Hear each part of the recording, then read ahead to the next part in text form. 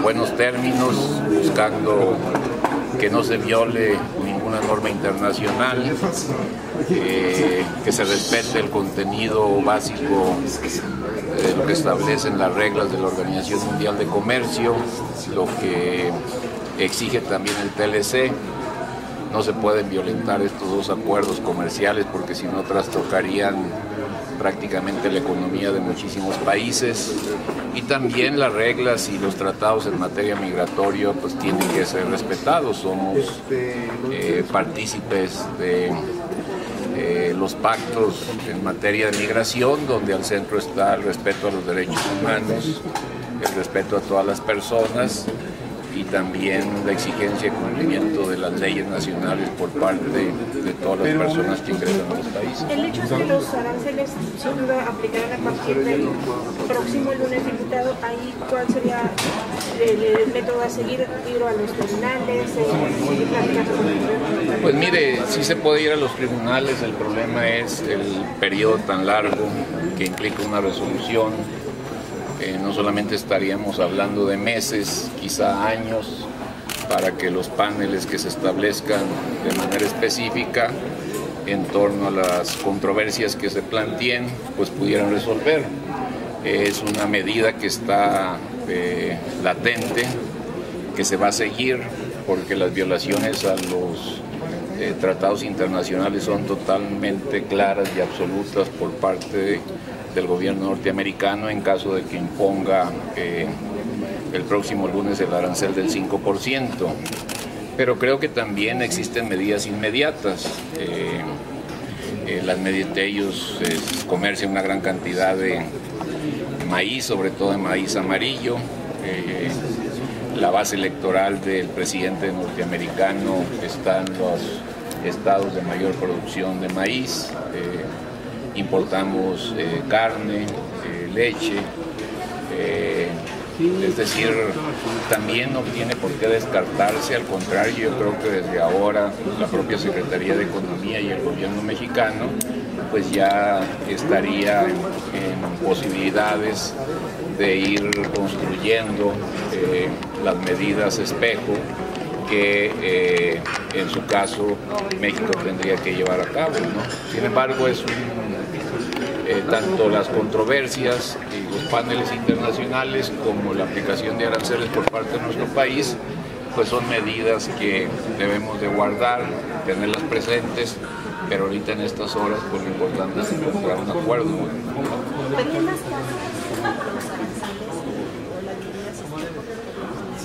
Pues casi, casi es este eh, lo normal. Este, no es ojo por ojo ni diente por diente, porque si no, pues todos nos quedaríamos ciegos, pero eh, lo, que, lo que necesitamos nosotros es que ellos entiendan que sus productores y sobre todo sus consumidores, en caso de establecer esta guerra comercial, serán eh, muy afectados también por las propias decisiones del gobierno norteamericano.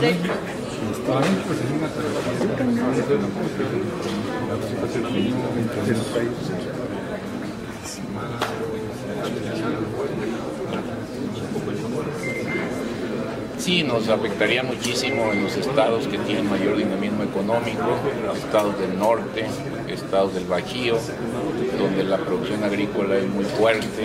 Eh, eh, donde tenemos la mayor producción de los principales productos que exportamos, que en el caso de la agroindustria pues está eh, tequila, está cerveza, están frutas, eh, están hortalizas, en el caso de autopartes pues es sustancial, todos los productos que tienen que ver con la navegación,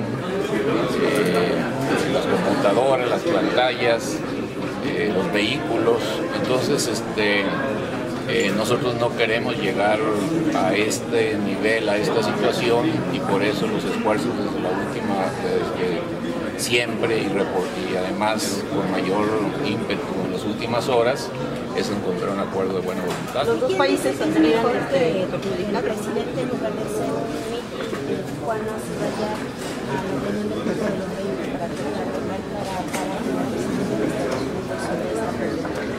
Pues yo creo la representación de México es de muy alto nivel. Eh, el secretario de Hacienda y el canciller estarán el próximo, los últimos días de junio en la reunión de los integrantes del grupo Los 20. Yo creo que llevan todo el respaldo, no solamente del Ejecutivo, sino del pueblo mexicano.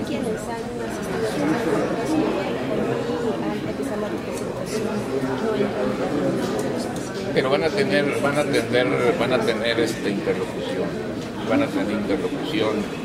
Eh, la comunidad internacional sabe la emergencia que estamos viviendo eh, y creo que el espacio que van a abrir tanto Ursúa como Ebral es un espacio de alto nivel en este momento. No es un signo de esta forma, así como ustedes los consumidores, los dos países salen perdiendo, ¿no? Los dos países salen perdiendo.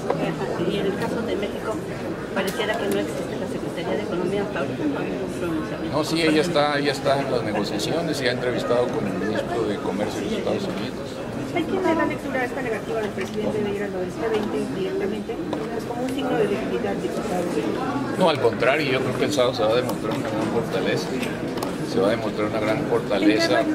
Prácticamente, primero que todas las eh, corrientes políticas, todos los organismos empresariales, todo lo, este, eh, eh, las fuerzas de distintos signos ideológicos eh, estarán presentes en un respaldo eh, que tiene que ver sobre todo con la exigencia de que haya un acuerdo de buena voluntad, un acuerdo que no perjudique a nadie.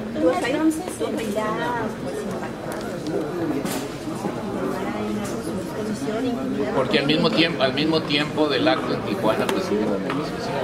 Entonces, no solamente, no solamente se está haciendo este acto en Tijuana, sino que también hay negociaciones este, el día de hoy, las próximas horas. No queremos llegar a una situación fatal eh, en los primeros minutos del, del próximo día 10. Eh, entonces está haciendo todo lo posible por evitar que el primer minuto del día 10 nos encontremos con un memorándum ya firmado. Eh, ni ellos ni nosotros estamos preparados. Este, es una cosa eh, sorpresiva, ninguna economía está en condiciones de soportar una medida como la que anunció el presidente. de la Oiga, diputado, ¿usted considera que este mitin va a ser suficiente para doblegar Estados Unidos? Pero es que no solamente es el, el acto de Tijuana, también hay otro tipo de, de pláticas, de negociaciones, de acuerdos que se están construyendo. Es una estrategia eh, integral, de un plan. ¿eh? ¿Usted cree que ideal Ah, no, todo ayuda, todo ayuda. Es claro, hay una estrategia totalmente clara. Es una tra- estrategia muy, muy es una estrategia muy consistente. Es una estrategia que tiene dos bases: ni guerra comercial, ni guerra arancelaria, ni tampoco tercer país. Pues la Esta es la la estrategia. cuestiona, dice que se necesitan estrategias más definidas, más que este tipo de violencia. No, también la oposición va a ir, Pues de hecho ya dijeron que no. todos vamos a ir. El PAN ya dijo que no. ¿Qué es más grave? ¿La baja de las calificadoras o de los pues, estamos para... Pues mira, yo creo, yo creo, yo creo que este es un buen momento eh, y ahorita lo van a ver ustedes en el debate que vamos a tener aquí en la Comisión de Presupuesto. Pues es un buen momento para construir no solamente un gran acuerdo del país en torno a los aranceles, sino un gran acuerdo para generar mayor inversión económica, eh, mayor inversión financiera. Eh, se tiene que eh, pues hacer de esta crisis que estamos viviendo en estos momentos pues una gran oportunidad para construir eh, pues un programa de largo plazo donde eh, se mantenga la racionalidad del gasto, la disciplina financiera, pero al mismo tiempo también se fortalezcan los ingresos del Estado mexicano y se haga un gran acuerdo con mucha confianza y certidumbre para aumentar la inversión tanto del sector público como privado. Yo creo que es una buena oportunidad. Creo que observa signos de, de recesión. Los mercados. no, yo no, no, no creo, no creo que tenemos, no, que no, que no, no- no tenemos peligro de recesión. que sí golpea, este, dificulta las cosas, pero creo que este, eh, el fenómeno internacional ha sido clave en esta generación de incertidumbre. pero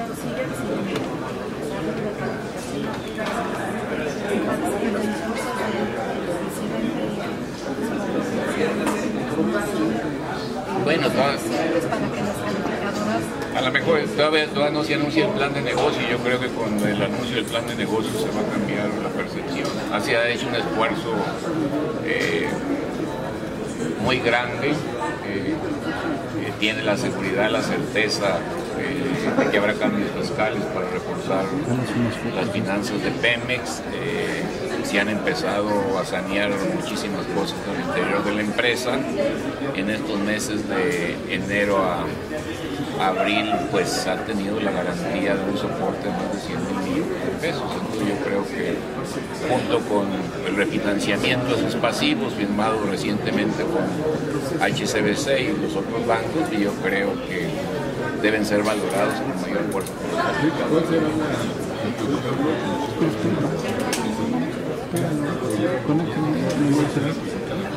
¿Cuál será la Pues vamos a, eh, vamos a presentar una serie de considerandos que deben formar parte de las políticas públicas eh, eh, que enriquecen lo que ha enviado el Ejecutivo. Consideramos que lo que presentó pues, cumple con lo que dice la Constitución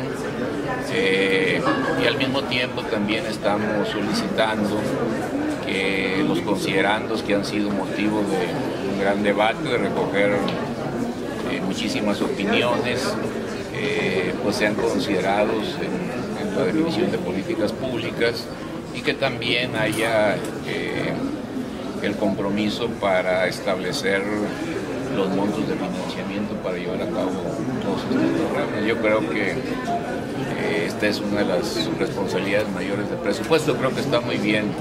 Como ustedes saben, nunca se había hecho que una comisión integrara un consejo consultivo. Eh, con este consejo consultivo formado por el Consejo Coordinador Empresarial, por la UNAM, por Coneval, por la Auditoría Superior de la Federación, por los principales centros de investigación de finanzas en nuestro país eh, y por instituciones académicas como el Colmes o como el CIDE, eh, como otras asociaciones civiles, pues hemos integrado un documento de recomendaciones, nunca se había hecho esto. Entonces, creo que, porque ellos fueron partícipes en los foros sobre competencia y lucha antimonopolios, sobre lucha contra la corrupción, ustedes van a ver el proyecto de considerandos y creo que es un gran aporte al Plan Nacional de Desarrollo presentado por el Ejecutivo. Muchas gracias.